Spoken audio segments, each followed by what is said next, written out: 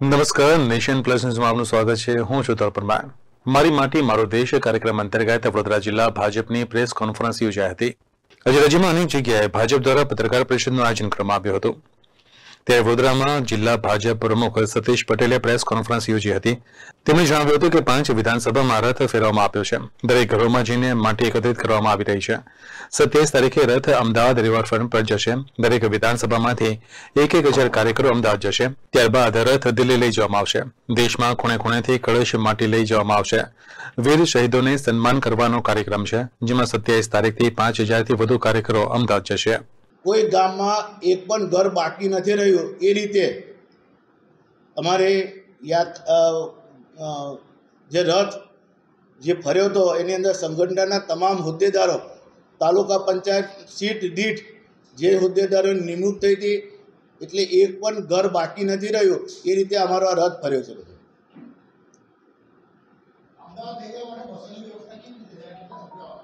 અત્યારે બાસઠ બસોની વ્યવસ્થા જે રીતે પાર્ટીના પ્રમુખશ્રીઓએ અમને જે યાદી આપી હતી, એ પ્રમાણે બાસઠ બસ અને બસો નાની ગાડીઓ એવી રીતે આયોજન થઈ ચૂક્યું છે અને હજુ પણ અમારા પાર્ટીના હોદ્દેદારો અને સંગઠનના પ્રમુખો જે રીતે વધારાના યાદી આપશે, એ કાલ બપોર સુધીમાં અમે જે કંઈક વધારાના જે યાદી મોકલશે એ પ્રમાણે વાહનોની તૈયારી અમે કરીશું.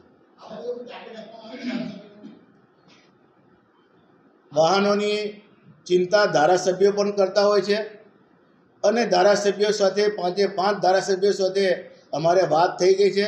એમને પણ એવું કહ્યું છે કે જેટલા પણ વાહનોની જરૂર પડે એ અમને જાણ કરજો અને સંગઠન જેટલા લોકોની યાદી તૈયાર કરશે એમાં બધા ધારાસભ્યો સહભાગી બનીને અમને વાહનોની વ્યવસ્થા પૂરી પાડવાની એમને પણ બાહેધરી આપી છે સાહેબ આ તો કાર્યકર્તાઓની વાત થઈ આ કળશ છે કે વાહન તરીકે આવે છે ઈ રીતે વાપરવાનું છે કે નવું હું બોલે કળશ કયા વાહનમાં કળશ કળશ કયા વાહનમાં આગળ બોલો.